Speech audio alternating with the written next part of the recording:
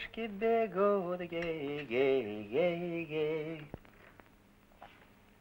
Яку так счастью везут, гей, гей, гей, гей.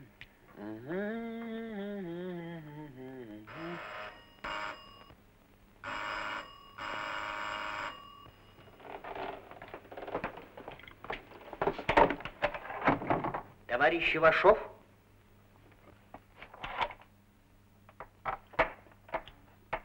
Я не ошибся. Да, это я.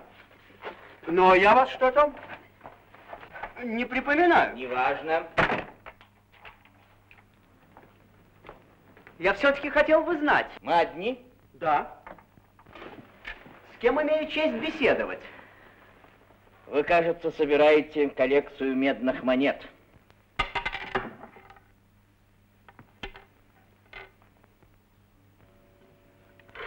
Да.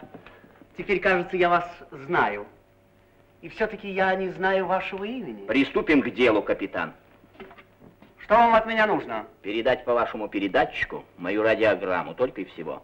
О чем? А вот это вас не касается. Передавайте. Вы, кажется, забыли, что я вам не подчиняюсь. Если моя любознательность вас обременяет, идите на телеграф и передавайте оттуда все, что вам угодно.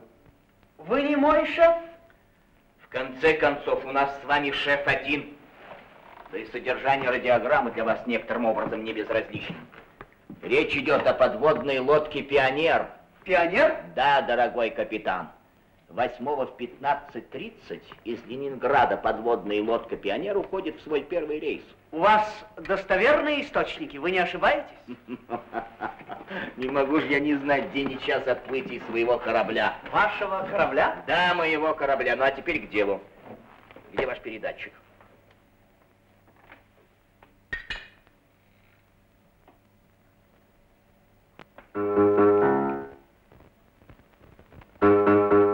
Я вас слушаю. Восьмого выезжаю отпуск.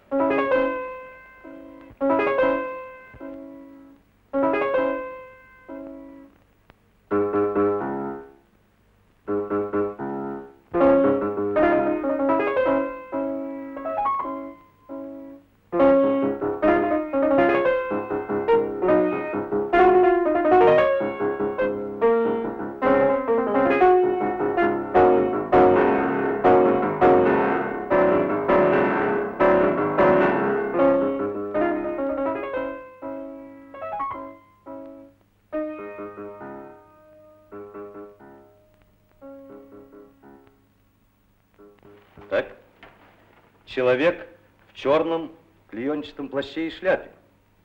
Когда ушел? Не уходил еще? Хорошо. У Ивашова кто-то в гостях. И именно в этот отрезок времени нами перехвачена радиограмма. Понимаю, товарищ полковник. Кого послать на операцию? Старшего лейтенанта Карцева. Слушаю, товарищ полковник. Значит, вы уверены, что пионер пойдет в район гибели теплоходов? Убежден. Пионер пока единственный в мире подводный корабль, на котором возможно исследование больших глубин океана. Хм, Похоже на правду. Но чтобы вовремя сообщить своим о место пребывания пионера, вам надо знать точные координаты корабля. А командование наверняка засекретит курс лодки. Где же вы добудете эти данные? Да, в подводном плавании я новичок, но я надеюсь, что...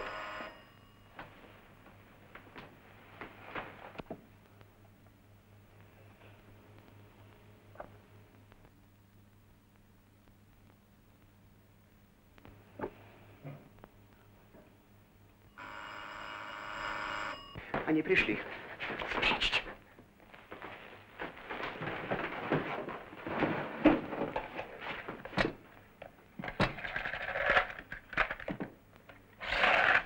Идемте. Откройте, Ивашов. Прощайте, капитан. Ваша явка, пароль. Рига, гостиница «Интурист», администратор Сидорина, пароль «Наша монета», для телеграмм «Анна».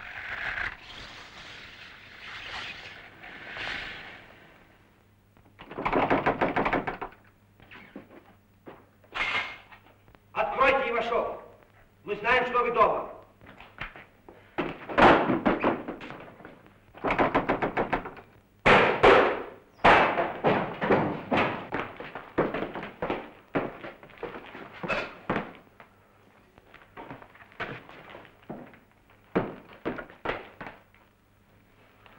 опоздали. Мертв. Обыскать.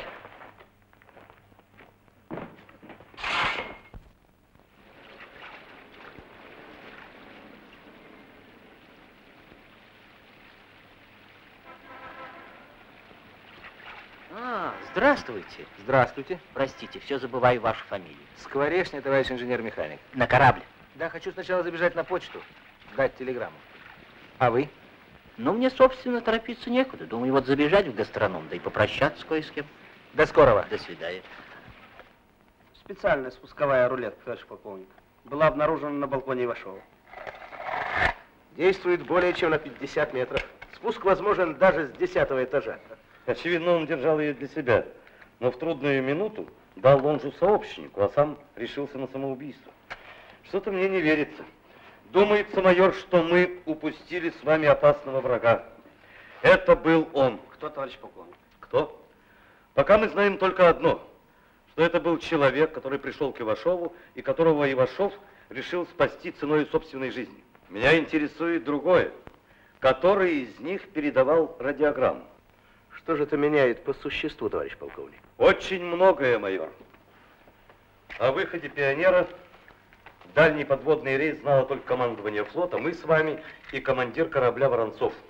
А в радиограмме указана точная дата выхода корабля. Ох, если бы Вашов остался жив. Кстати, куда доставили труп? Полчаса назад его отправили в морг. Я прибыл к вам.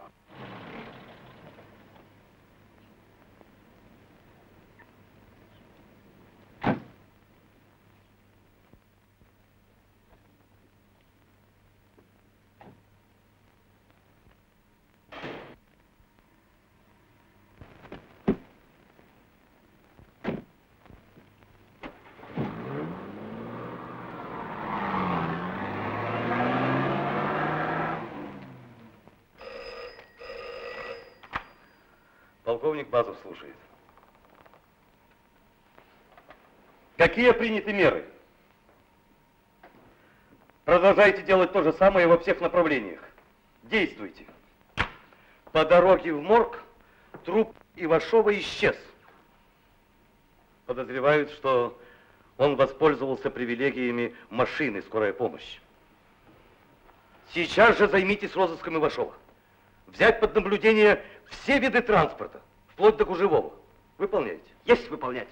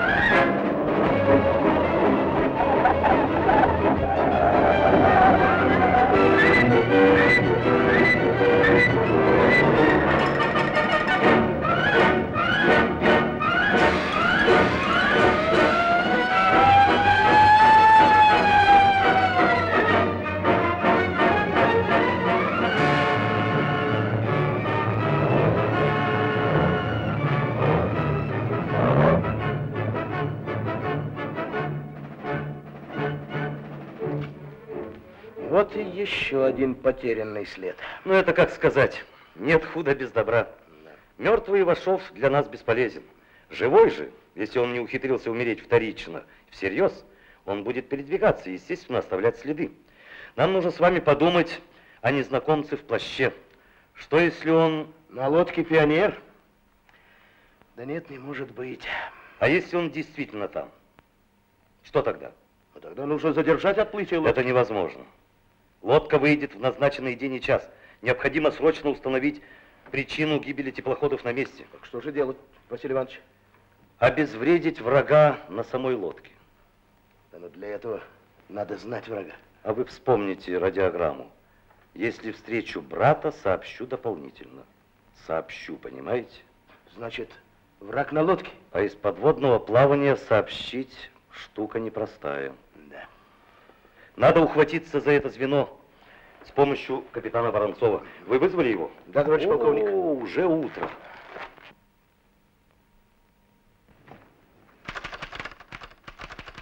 Перестаньте стучать. Это мое постоянное занятие. А, постоянного ничего нет. Я вчера был музыкантом, сегодня покойником, а завтра, возможно, буду курортником на Рижском взморье. Лучше возьмите чистый лист бумаги. Вашу работу в конструкторском бюро я хорошо оплачиваю. Пишите. Рига, набережная 69, Сидориной.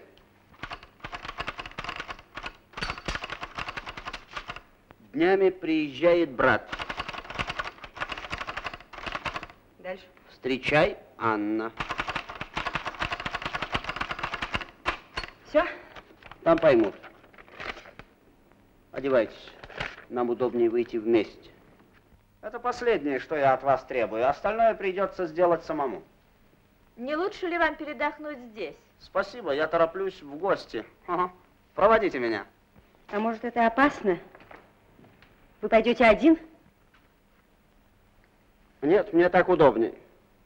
А потом отправите телеграмму.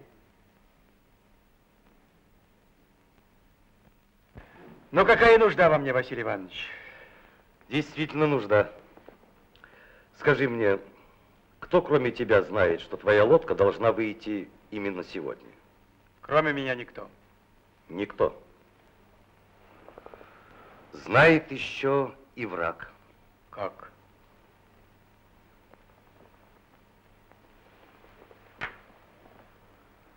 А как же с выходом?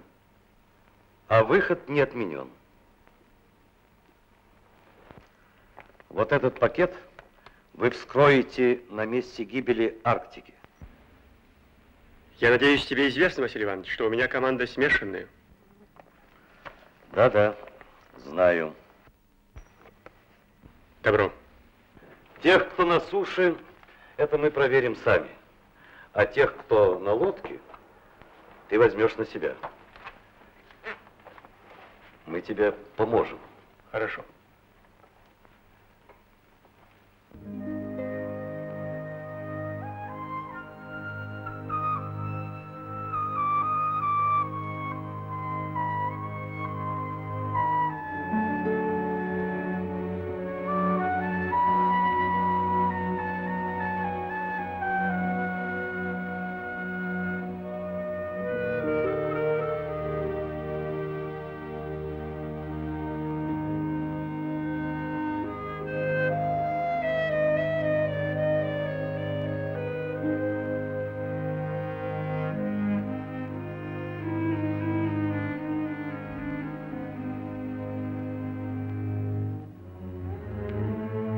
Товарищ капитан первого ранга, прошли Балтику.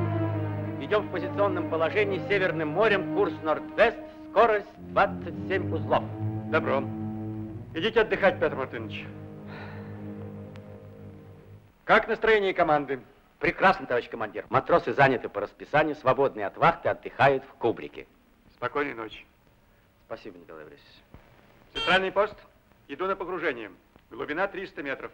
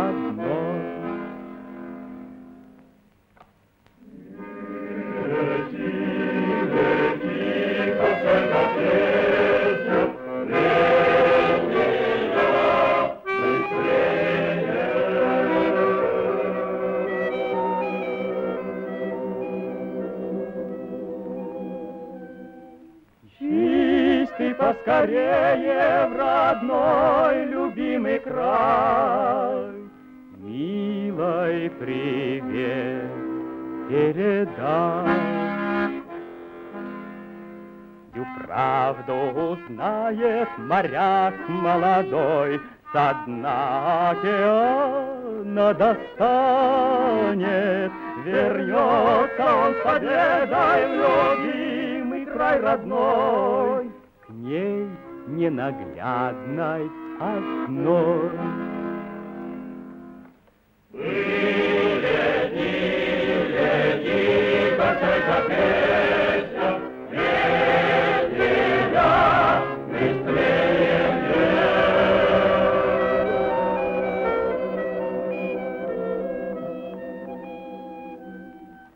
Чистый поскорее в родной любимый край.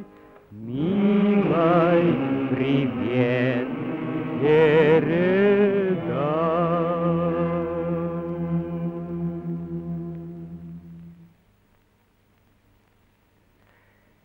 Хорошо вы играете, товарищ. Фу ты, черт, опять забыл вашу фамилию. Скворешня, товарищ инженер-механик. Андрей Скворешня. Наградил же папаша фамилией. Даже девушки смеются. Да и руки вас, товарищ Скворешня, прямо скажем, не матросские. Деликатные ручки. А я на подводной лодке действительно впервые. Но, между прочим, я этими вот ручками подковы сгибаю. Серьезно? Да. Что вы говорите? Ребята, а что у нас делают с хвостунами? Привязывают к шкоту и опускают в море для охлаждения воспаленного воображения. Не смешно. А как же насчет подковы? Придется доказать. Ну, ладно. А ну, ребята, кто хочет со мной поздороваться? Давайте попробуем, товарищ старшина. Товарищ старшина, у вас нет желания попробовать мои косточки? Ваши? Да. Прошу. Интересно, кто Доктор, не вижу носилок.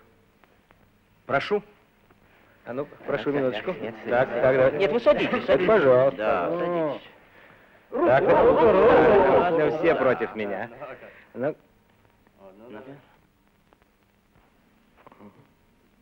Ну,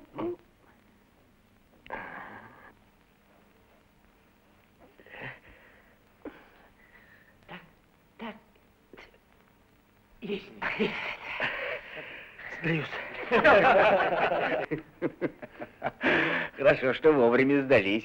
А то всю команду мог оставить без музыки, а? Ничего, ничего, старшина. До свадьбы заживет.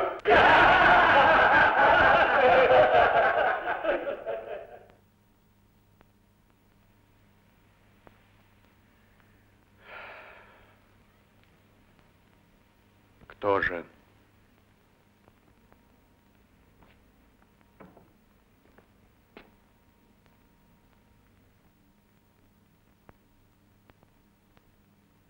Вы что-нибудь понимаете?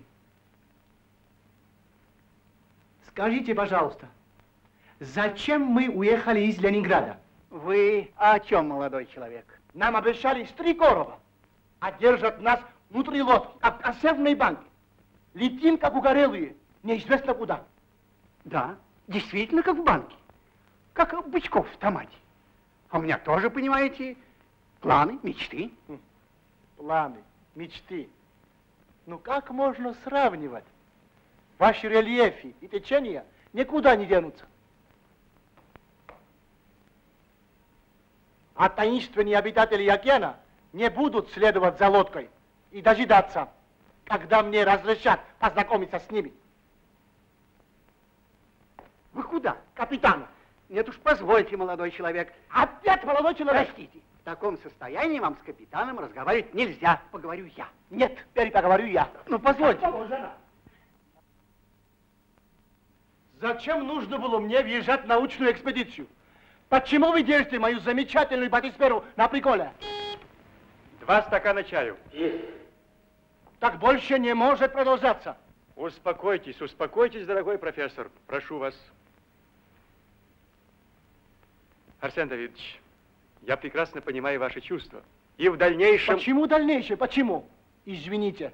Прошу немедленно высадить меня на берег. Я не могу так. До ближайшего берега 2000 миль. А я со скоростью самолета спешу на место гибели Арктики. И, может быть, спасу людей. Людей? А почему я об этом ничего не знал?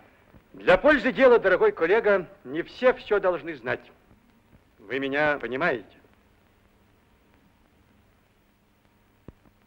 Извините, пожалуйста. Располагайте мной, как вам угодно. Прежде всего прошу вас выпить стакан чаю.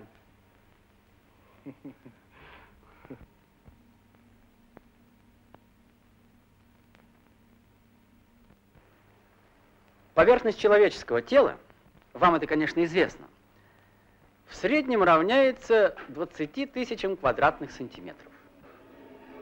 Таким образом, давление воды на все тело человека, ну, на глубине, скажем, 100 метров, достигает 200 тонн, а на глубине в 5000 метров это давление равно уже 10 тысячам тонн. Это на 1 сантиметр тела полтонны.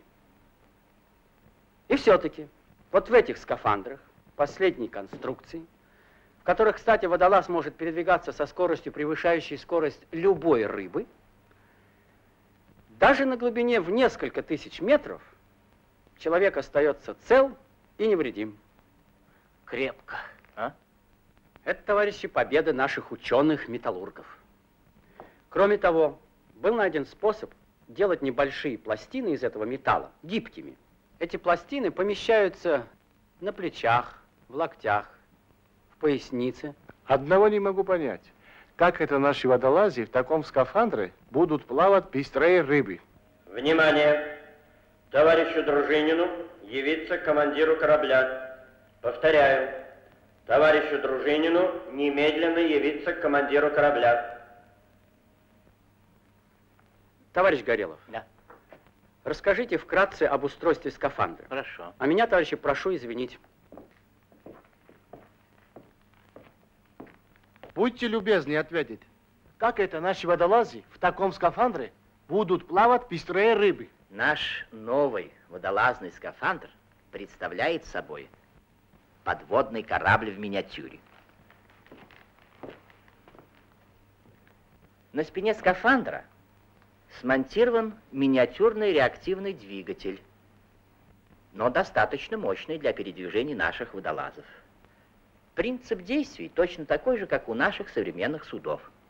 Ниже размещен источник питания, крохотной электростанции постоянного тока. Она питает водометный двигатель и локтевые пилы. Дальше.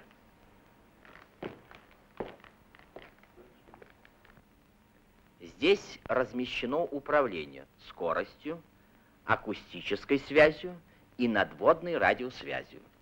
Стекло на шлеме не уступает в прочности металлу. На шлеме под прожектором находится автоматическая фотокамера.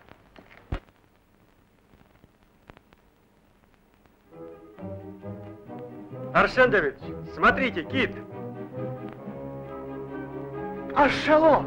Нет, это полосать. Кашалот. Это видно по его повадкам. Как он мог попасть в эти широты? Они прекрасно себя чувствуют в любых широтах, исключая Заполярье. Какой великолепный экземпляр! Вот бы вам его в аквариум, а?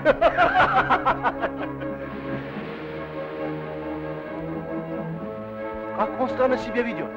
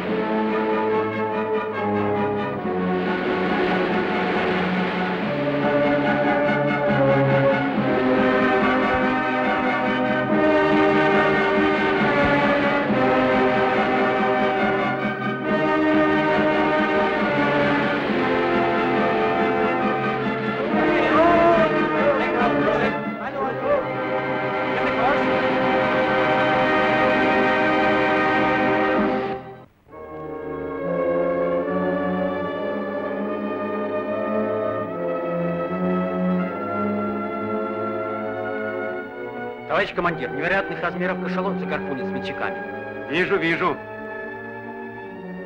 Но эти смельчаки находятся на невероятно малом суденушке.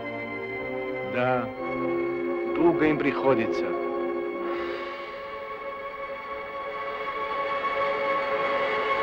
Смотрите, что он с ними делает.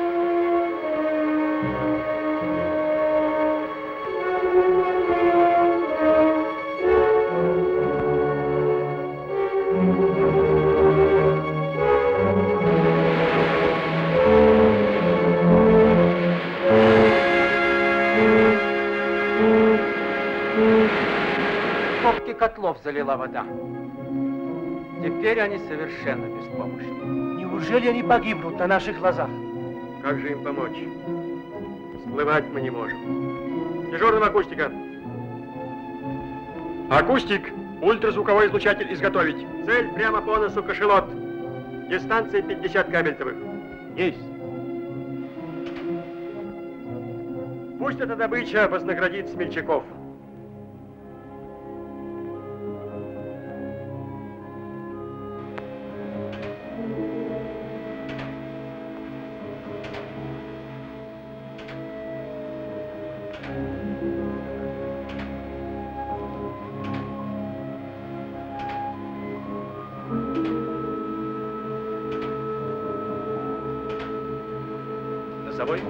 Ультразвуковой излучатель изготовлен. Дистанция 45 кабельтовых.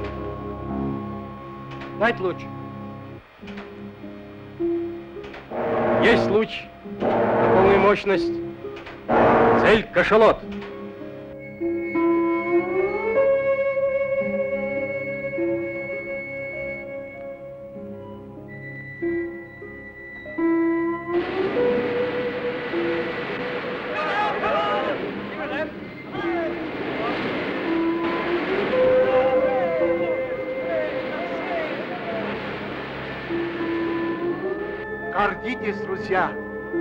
Сыграли в жизни этих смелых людей роль проведения. Горжусь, Арсен Давидович. Дружинин, запишите в журнал. Есть. Подумайте сами. Поверхность всех материков составляет только 29% всей площади земного шара, а 71%, то есть более двух третей его, покрыты морями и океанами. Андрей Николаевич, скажите, пожалуйста, а вот могли бы вы определить по одному только подводному рельефу, в каком океане вы находитесь? Задача, конечно, трудная, но вполне выполнимая. Исследовав грунт, произведя химический анализ воды, проследив подводные течения, я бы определил не только океан, но даже и его район. Ага. Благодарю вас. Говорит дежурный по кораблю. Инженеру-механику Горелову явиться в центральный пост. Извините, Андрей Николаевич. Простите, профессор. Скажите, пожалуйста, а более точно ориентироваться под водой можно? Поясните вашу мысль. Ну, могли бы вы, например, профессор, по рельефу дна определить широту и долготу, на которой вы находитесь? Нет, молодой человек, пока это невозможно. Значит, понятно. Понятно. Говорит дежурный по кораблю.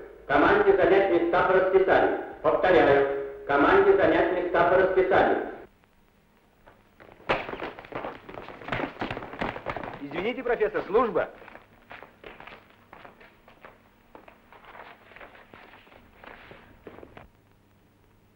Товарищ командир, айсберг? Да, айсберг. Странное дело. Май месяц, в этих широтах уже зима, и вдруг айсберг. Этот вопрос будет решать океанограф, это по его части. А нам надо думать, как сохранить курс. По курсу все время небольшая глубина. Они могут висеть над самым дном. Товарищ капитан первого ранга, справа по борту айсберг. Товарищ командир, слева по борту айсберги. Товарищ командир, прямо по носу группа айсбергов. Товарищ командир, говорит штурман, мы в районе гибели Арктики. Положение серьезное, товарищ командир.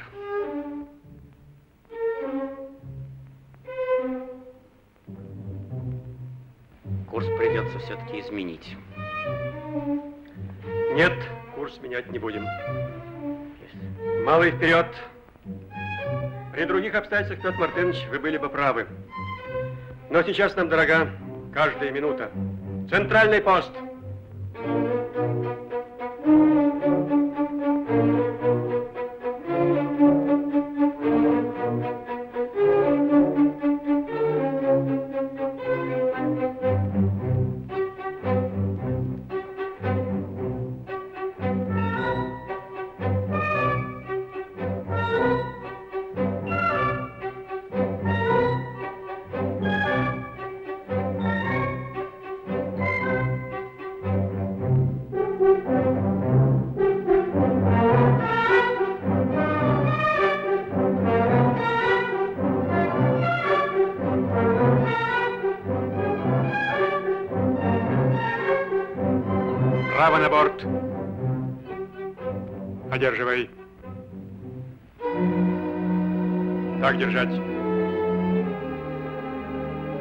Самый малый.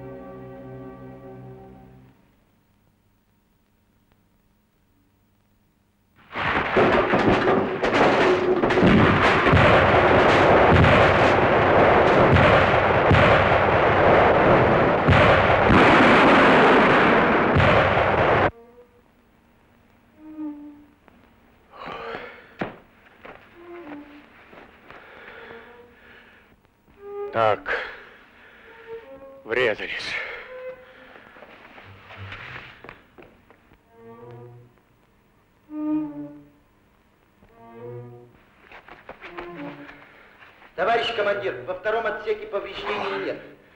Товарищ командир, в носовом отсеке двое легко раненых. Микрофон. Товарищ Микрофон. командир, в седьмом отсеке двое раненых. Внимание! Говорит командир корабля. Команде занять место по аварийной тревоге. Врача в седьмой отсек. Стоп! Машины! Центральный пост. Стоп машины.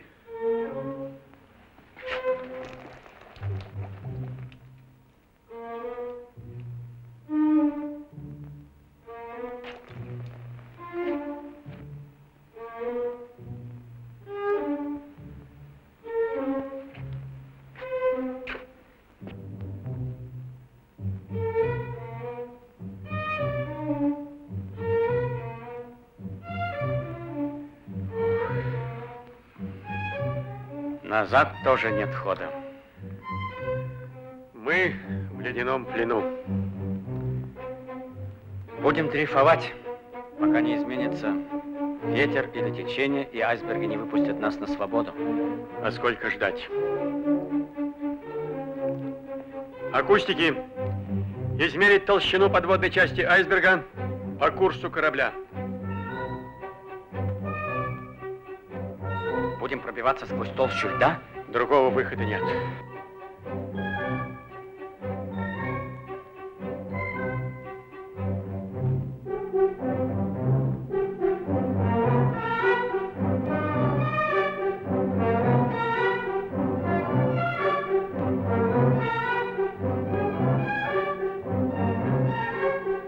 Товарищ командир, толщина льда по курсу 810 метров. Акустики, включить носовую термическую полосу. Центральный пост, Самый малый вперед!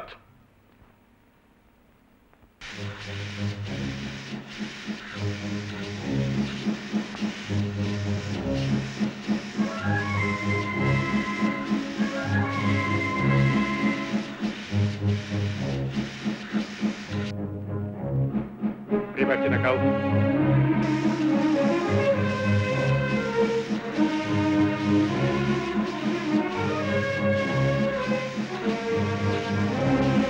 Средний вперед.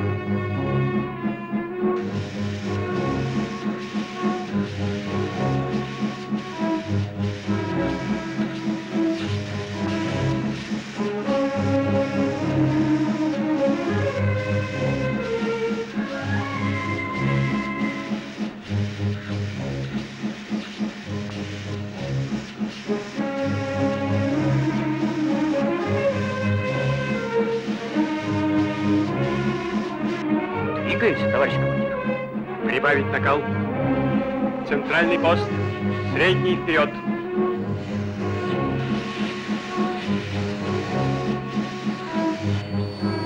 Что это, товарищ командир? Пар, пар. Он не успевает превращаться в воду и прорывается между корпусом лодки и льдом.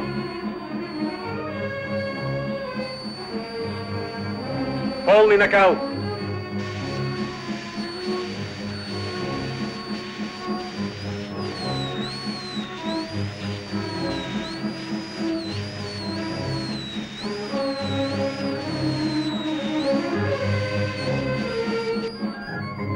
57 метров.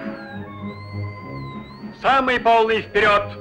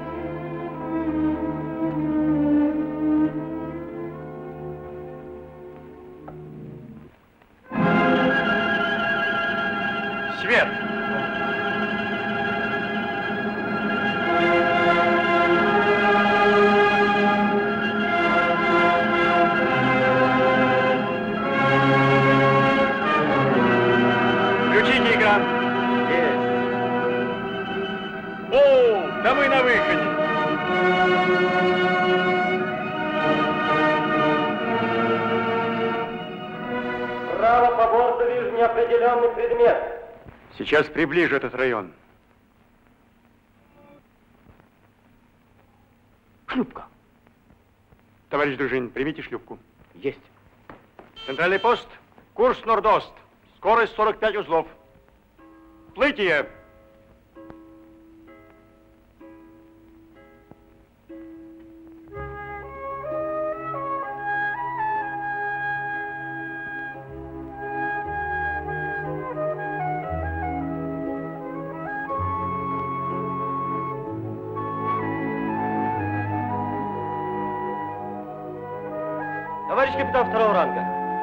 Это шлюпка теплохода Арктика.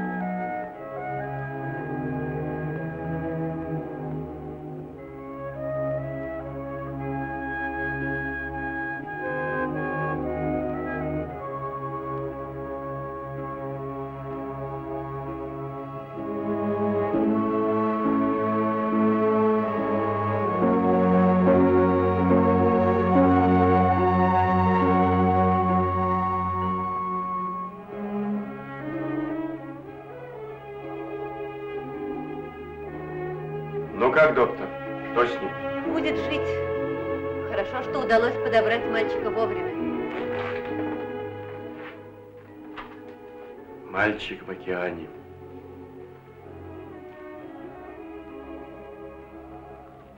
Павлик. Павлик. Сын капитана Арктики.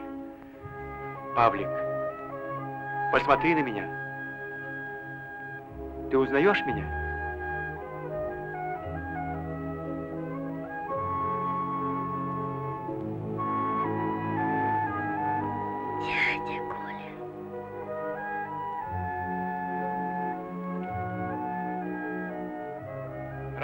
Шлюпку нашли, значит Арктика под нами. Ну что, Петр Матвеевич? Ничего, товарищ командир. Спустились 10 миль по ветру, горизонт чист. Может быть, пойдем на погружение? Нет-нет, будем искать людей. Центральный пост, курс Дюйт-Вест, самый полный. Скажи на милость, Павлик, Ну что ж, хоть одного нашли.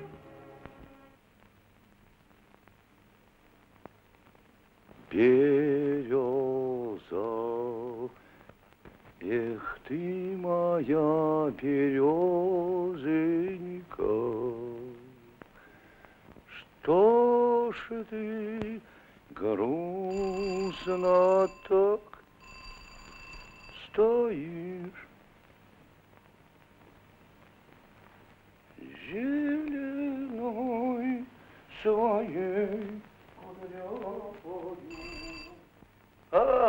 Олежки бегут, бегут, якуток к счастью везут.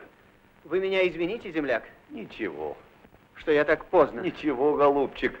А то я здесь в тоске пребываю, один, совсем один.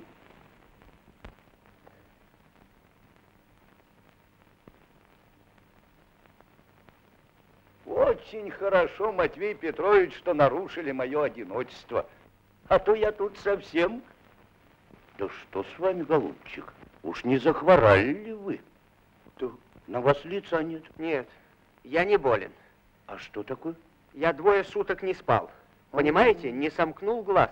А, так бессонница замучила, бессонницей страдаете. Ну ничего, ничего, это мы сейчас в два счета вылечим. Э.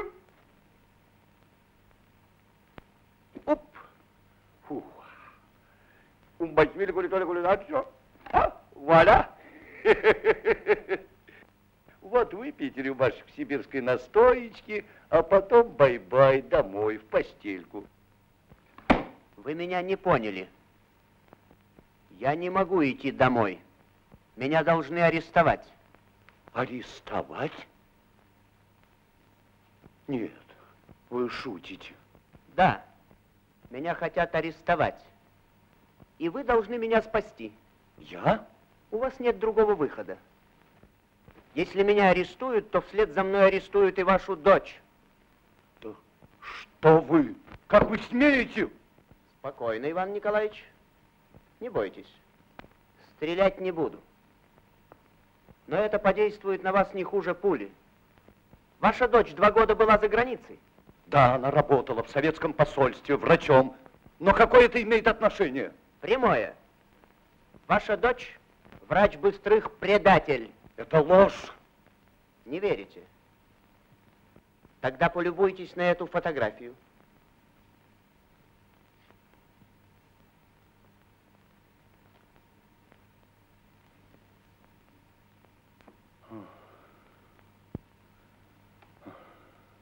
Вот так.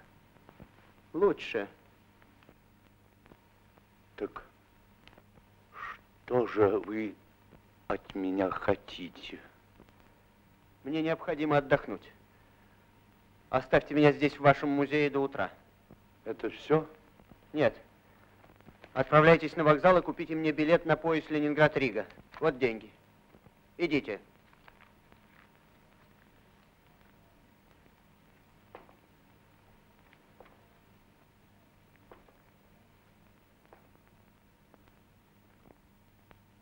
Вы куда?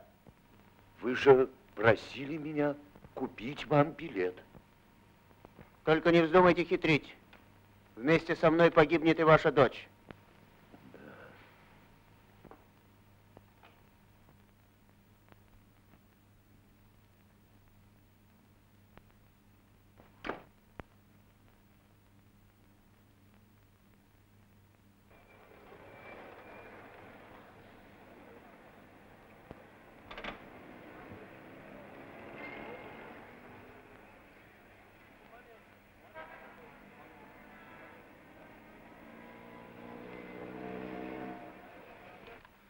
Потом я обещал ему купить билет до Риги. Но ему не убежать. Я его запер. На окнах решетки, а замок ему не сломать. Алексей Николаевич, займись этой фотографией повнимательнее. Ну, с фотографией мы сейчас все выясним. А вот что нам делать с вашим гостем? Так вы его арестуете? Как вы с ним познакомились? Он приходил ко мне в музей, приносил экспонаты. Потом он выдавал себя за моего земляка. Нашлись общие интересы. Что вы, какие Вы же... успокойтесь, успокойтесь, Иван Николаевич. Это я так, для того, чтобы уточнить. Очевидно, Ивашов знал место работы вашей дочери. Для этого и дружбу с вами завел. Составлено из двух снимков. Прошу вас, Иван Николаевич. Этого и следовало ожидать. Земляк, я достал билет на сегодняшний поезд.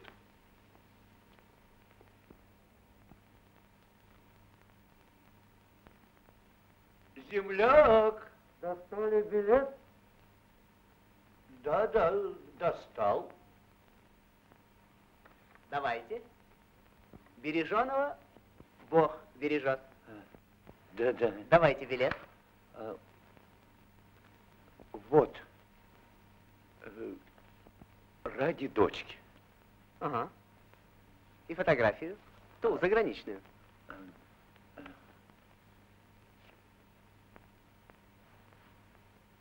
А теперь раздевайтесь. Ради дочки.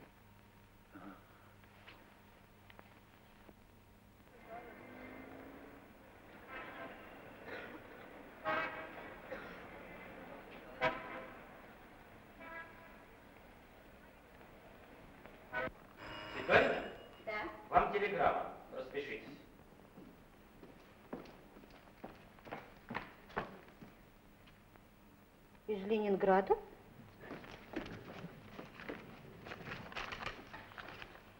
Днями прибудет брат. Встречай, Анна.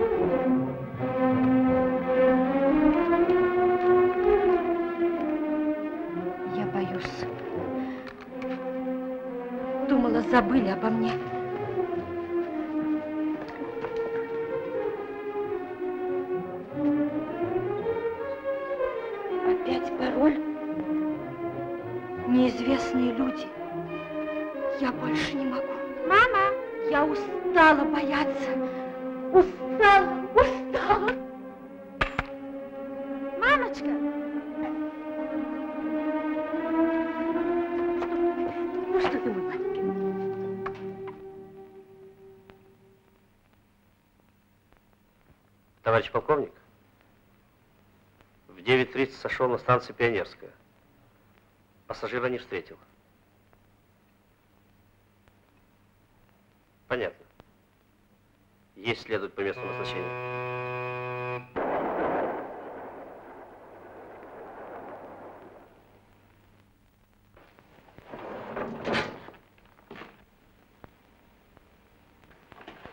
Разрешите?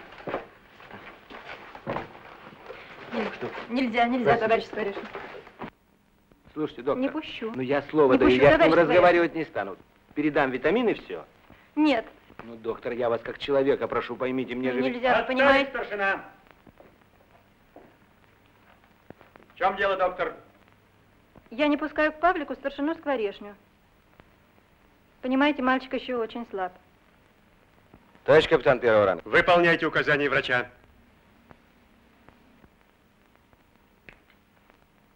Ну, а меня вы тоже не пропустите? Пожалуйста. Дядя Коля!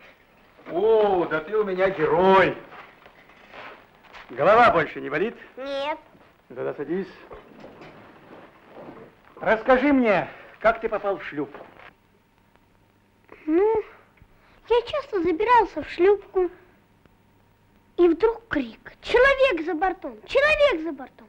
Только я хотел выпрыгнуть из шлюпки, она стала опускаться вниз, и туда стали прыгать матросы. А потом налетела буря. Вода поднялась, как целый дом. И все? А что с моим папой? Е- его спасли дядя Коля. Э, Надо надеяться, Павлик, что его тоже подобрали. Может быть, его подобрал этот катер? Какой катер? Маленький, совсем маленький.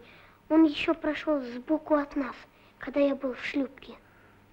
Только я никак не могу припомнить, какой на нем был номер. Голова даже заболела, но я вспомню. Обязательно вспомню и скажу сразу же старшине Скворешне. А почему скворечни? Он меня просил об этом. Дядя Коля, запросите по радио, что с моим папой? Запрошу, Павлик, запрошу. Обязательно запрошу. Ольга Ивановна, переведите Павлика в мою каюту. Ты согласен, Павлик? Да. Ну вот и хорошо.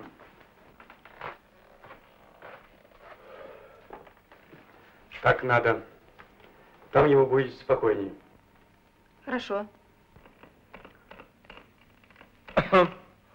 О, приятно видеть симпатичное женское лицо на корабле. Сюда посторонним Я вход знаю, знаю, знаю. Извиняюсь, скажите, эта лампа исправна, а?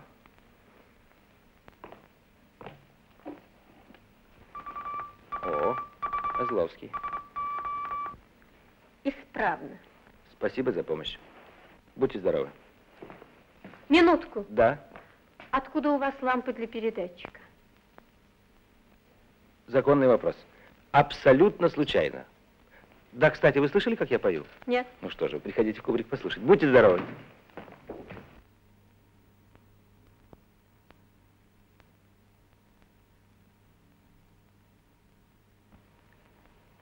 Герой, ты что же, сбежал от врача и разгуливаешь по кораблю? Нет, я больше там не живу. А где ж ты живешь? У капитана? А ты случайно не сочиняешь? Нет. Ну, в каюту капитана редко кто заходит. А? Ну, брат, да ты становишься фигурой на корабле. В таком случае прошу оказать и мне честь. Читать умеешь? Да. Читай. Каюта инженера-механика Горелова. Молодец, прошу. Как у вас хорошо. Как дома на земле. Значит, нравится тебе наша лодка? Я ее почти не видел. Положим, видел ты много, но у тебя еще нет нашего морского глаза. Вот моряку достаточно одного взгляда, чтобы сразу и навсегда запомнить каждый предмет.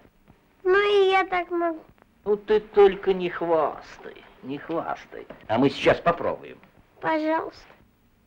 Сколько, по-твоему, в коридоре было дверей, по которому ты только что сейчас прошел? Восемь, нет, девять. Одиннадцать дверей. Ну, пошли дальше. Пошли.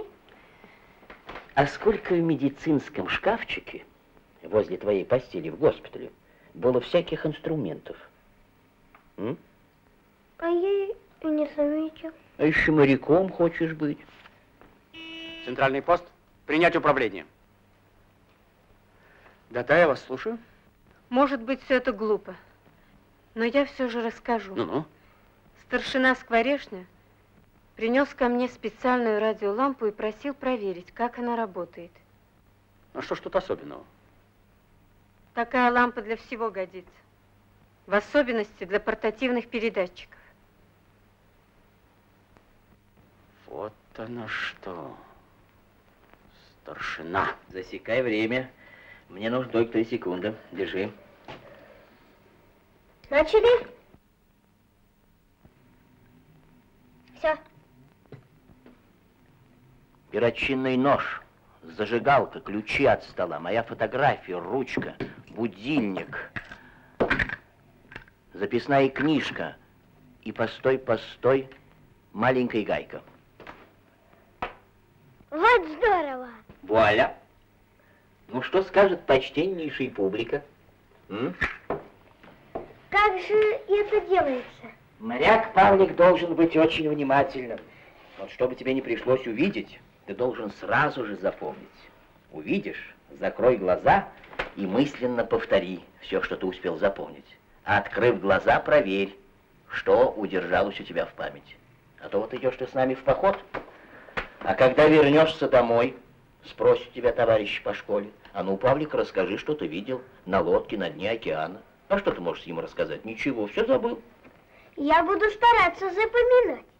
Но только ты не хвастай, не хвастай. Честное слово, вот сами увидите. Только можно я буду приходить к вам почаще? Некогда мне, Павлик. Ну так и быть, приходи в свободное время. Будем с тобой в эту самую запоминайку играть. Да-да. Павлик. Я тебя... Здравствуйте. Я тебя по всем каютам ищу. Некогда мне, Ольга Ивановна. Я за. Обедать пора. Ну иди, иди, иди, занятой человек. А что это у тебя? Это я. В день окончания училища похож? Похож. Только вот ваши усики мне кого-то напоминают. Не помню кого. Может быть, Чарли Чаплина? Усы и очки Ольги Ивановны всегда кого-нибудь напоминают. Да, это верно. Пойдем, Павлик. Я завтра к вам приду? Обязательно. Только у врача разрешение спроси. До свидания. До свидания.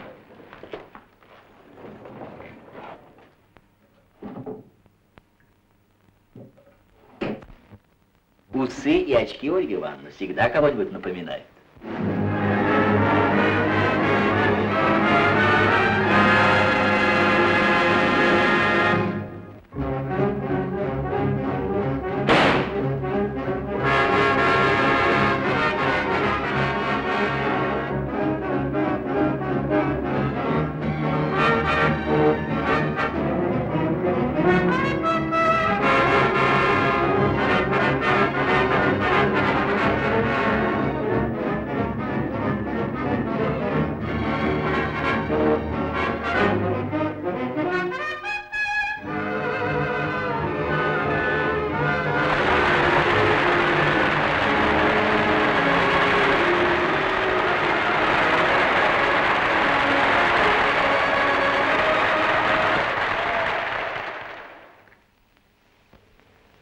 Я не пропускала ни одного его выступления.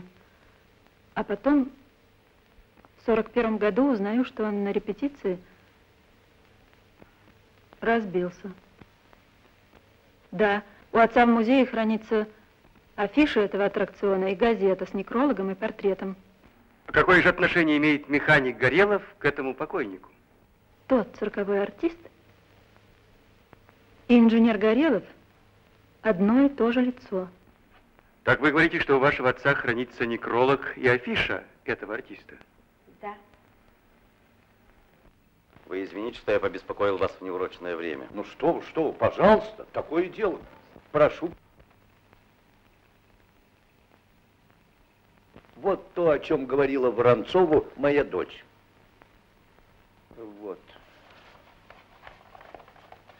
Лоппинг. Мертвая петля. Эту афишу я выпросил у Горелого после поездки его в Германию. Континенталь.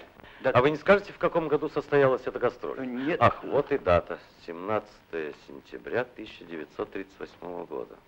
Любопытнейший был аттракцион. Сенсация. Внешне эффектно. А после двухдневной тренировки любой артист мог исполнить эту мертвую петлю. Почему? А математический расчет. А разве артист Горелов был математиком? До работы в цирке он учился в каком-то техническом институте, а потом бросил. А этот снаряд рассчитал ему его брат. По всему, видать, был талантливый инженер. Странно.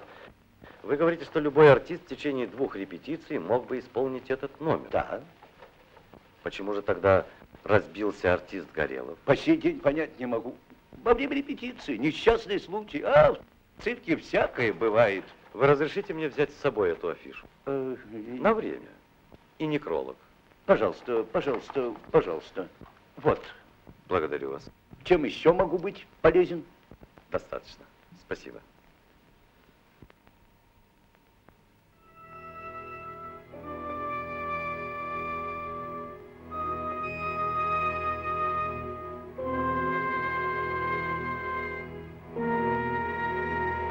А теплохода все-таки нет. Найдем, Андрей Николаевич.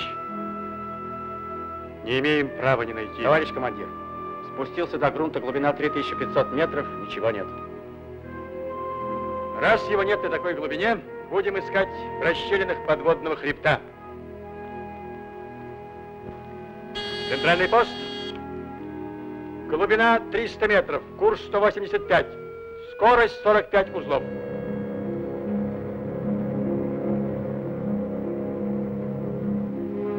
Товарищ командир, пойдем прямо на скалы. При такой скорости мы непременно врежемся в них. Я это учел. Скалозрыватели ТОПС.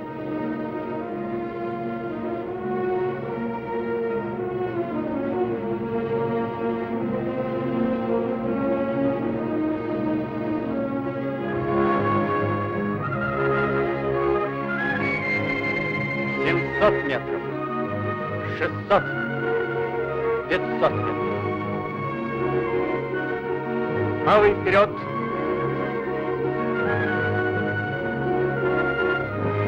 Скалозрыватели.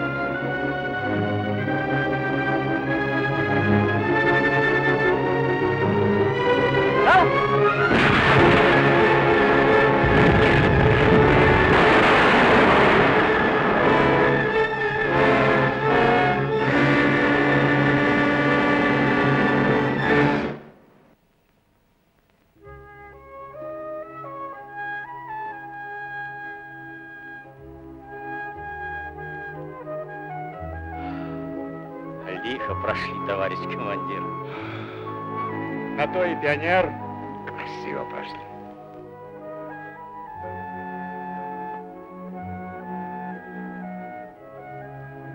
Что это?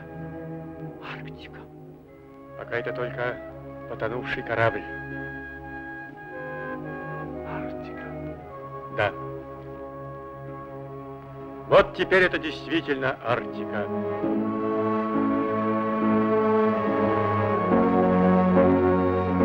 Стоп, машины! Товарищ Дружинин, пошлите водолазов на корабль. Есть.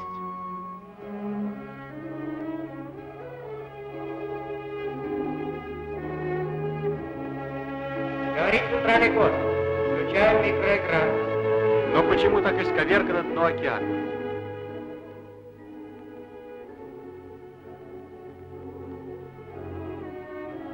Странно. Можно было бы предположить вулканическое извержение, но нигде никаких следов лавы. Странно, очень странно. Николай Борисович, возьмите пробу грунта. Я уже дал распоряжение водолазам взять пробу грунта и корпуса корабля. Здесь, несомненно, диверсия. Диверсия? Да, дорогие коллеги, гуманные цели нашей экспедиции, спасение людей, выяснение причин катастроф и ваши научные работы проходят в обстановке исключительно напряженной. А что вы имеете в виду? Может так случиться, что мы не успеем выяснить тайну. Как мы подвергнемся той Да. же участи? Это не исключено. Повторяю, команде занять места по расписанию.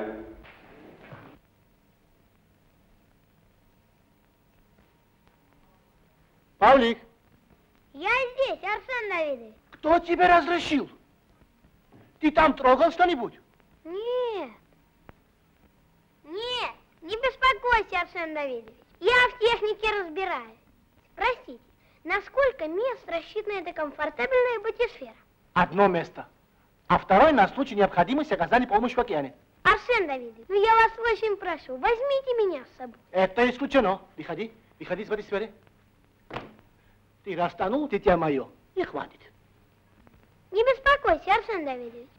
Мы вот оставим вот эту вот записочку, и Ольга Ивановна не будет волноваться. Ушел в океан помогать Арсен Давидовичу. Вернусь ко второму завтраку, Павлик. Хорошо? Нет, так нельзя себя вести на лодке. Если об этом узнает капитан, нам будет худо. Ну, я тебе обещаю молчать. Я тоже буду нем, как рыба. Хм, будущий ихтиолог. Они знают, что рыбе говорят. Говорят. Говорят. Ну, иди к себе. А я тебе обещаю редчайший экземпляр глубоководной рыбы. Вопросов нет? Простите, А чтобы быть ихтиологом, обязательно надо носить бороду? Нет, кому как идет. Вот, например, мне идет борода, нет, Павлик, а? Да, но я никогда не буду носить бороду. Минрат нахете трикваво,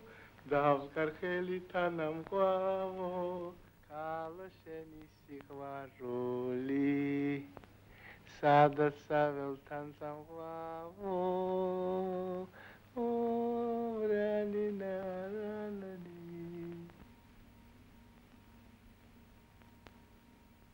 Центральный пост.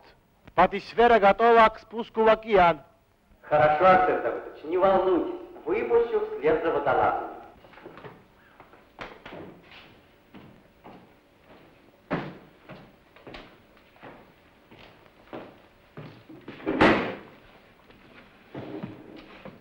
А что это у вас такое? Это? Да. Это электромеханическая пила, Павлик. Вот этой пилой мы запросто режем металл под водой. И кита тоже можно разрезать. В самом лучшем виде, как в мясокомбинате. А как вы под водой плаваете? Знаешь, Павлик, сам удивляюсь. Знаешь что, стоит профессор, он наверняка знает, пойди, спроси. Товарищ капитан второго ранга, первая группа водолазов к выходу готова. Приготовиться к выходу на дно океана. В первую очередь в рифт. За экспедицию назначен инженер-механик Горелов.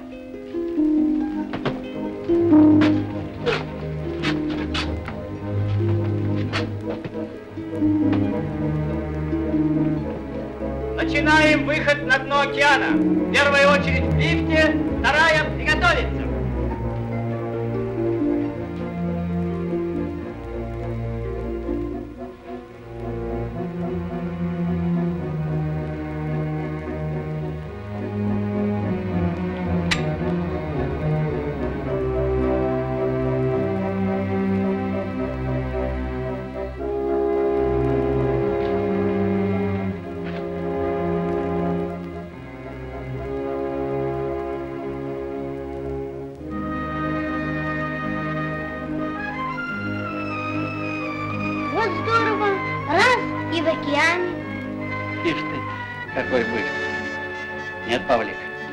Им еще подниматься целых три этажа. И в каждом ворота, как в шлюзе. А зачем же так? Можно как лифтом в доме. А давление воды огромное. Попробуй, сдержи-ка одними воротами. Раздавит, как не было.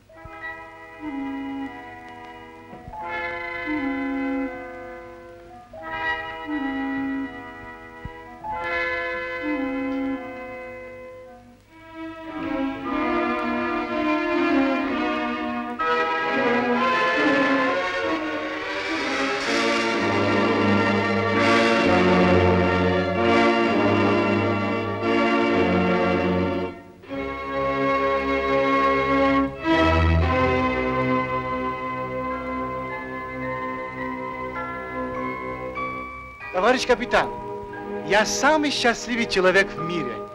Если вы только видели, здесь целый сад из актиний прожорливых хищниц.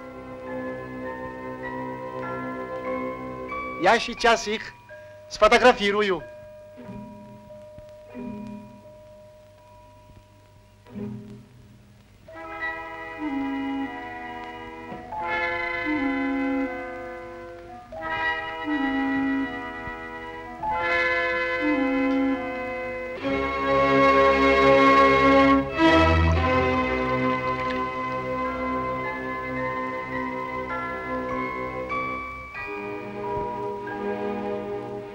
Морские рыбы, попугай. Самые настоящие морские попугай. Пожаловали ко мне в гости. А, встревожилась красавица? Нет, нет, ты от меня не уйдешь. Я тебя и на дне океана найду.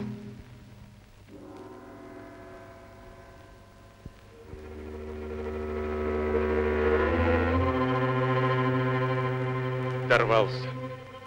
Чего он носит? А, встретились красавицы. Куда? Куда вы? Одну минуточку. А, попалась?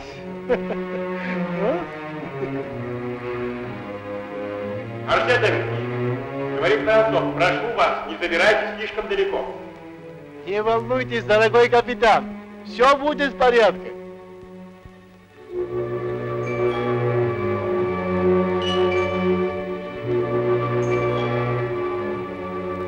Арсен Давидович, куда же вы?